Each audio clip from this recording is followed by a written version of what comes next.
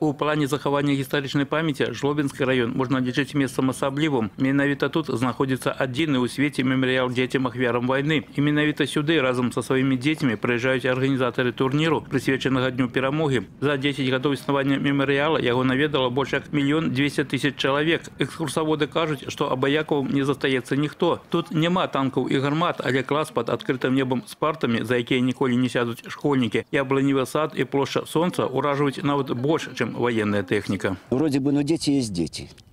Они начинают свои шебутные действия, как и мы, в принципе, росли всегда.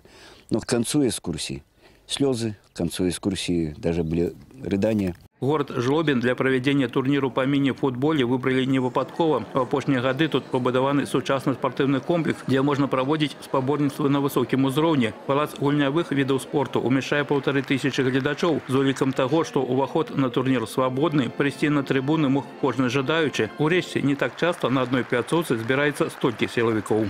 Гэты кубок пераможцы выраблены па спецыяльным заказе, аналагу яму ў свеце больш няма.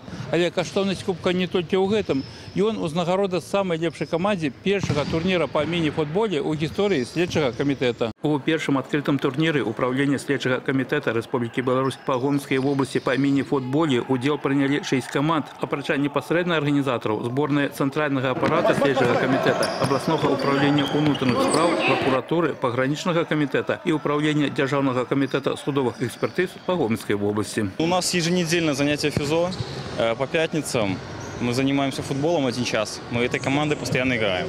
Поэтому у все нормально. Кожны матч гэта два таймы по 10 хвілін. Каб паспець выйграць, неабходна пастаянна атакаваць, што надае спаборніцтвам асаблівую відовішчнасць. Амаль праз 6 гадзін спаборніцтваў становяцца вядомымі вынікі. Галоўны прыз у каманды ўправлення следчага камітэта па гомскай вобласці. Трэцяе месца у іх калег цэнтральнага апарату. Паміж імі зборнай пагранічнікаў узяць рэванш тыя, хто не трапіў у тройку пераможцаў, змогуць у наступным годзе. Праўда, канкурэнцыя будзе яшчэ больш жорсткай. Арганізатары маюць намер павялічыць колькасць каманд і правесці другі турнір ужо ў статусе статусе международного. Команды следственных комитетов Российской Федерации и иных стран, которые выскажут заинтересованность. Сейчас этот вопрос прорабатывается. Я имел обстоятельную беседу с мэром города. Он понимает необходимость и значимость этого турнира.